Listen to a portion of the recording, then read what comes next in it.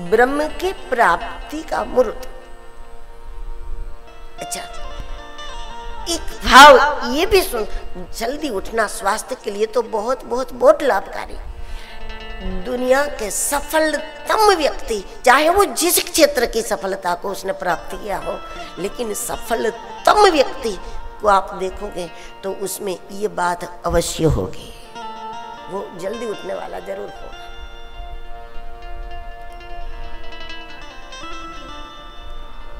बात। डोंगरे जी महाराज, चार बजे तो नर्मदा जी में प्रवेश कर लेते चाहे सर्दी हो, चाहे गर्मी हो, चाहे जो अद्वितीय सफलता जिसको भी प्राप्त हुई है, उसमें ये गुण की प्रधानता पाई जाती है।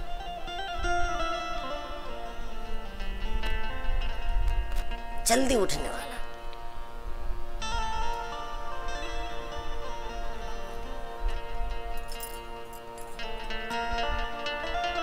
क्योंकि उस समय संकल्प सिद्धि होती है हमारी। किसी भी मुहूर्त में संकल्प कर लो तो सिद्ध थोड़ी हो जाता है। जब कोई भूमि पूजन भी करना है, वास्तु भी करना है तो प्रत्येक काम के लिए शिलान्यास करना है, नए घर में प्रवेश करना है तो फिर आप पंडित जी से कहोगे कि किस मुहूर्त में हम प्रवेश करें? किसी भी मुहूर्त में संकल्प जल लेकर के कर लिया तो सिद्ध नहीं होता। निश्चित मुहूर्त में जब होता है, तब वो सिद्ध होता है। तो ईश्वर प्राप्ति का संकल्प या फिर जीवन सिद्धि का संकल्प हमें ब्रह्म मुहूर्त में करना चाहिए।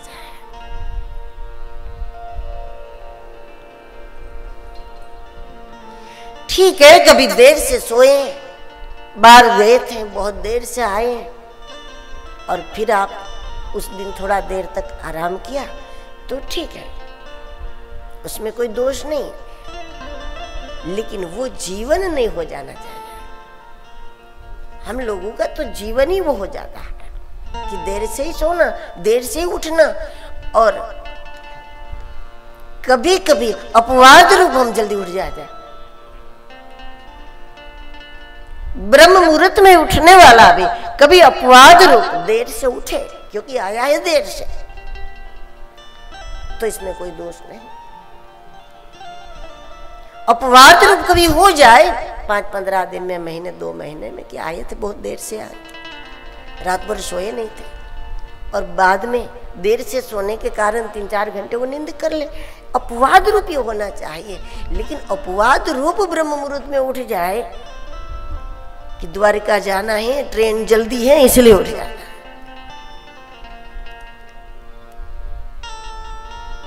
अपवाद रूप देर से उठो, लेकिन देर से उठना जीवन नहीं होना चाहिए।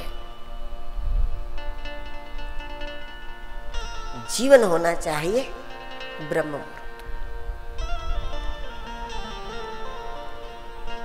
दिव्य आत्माओं का उस समय विचरण होता है।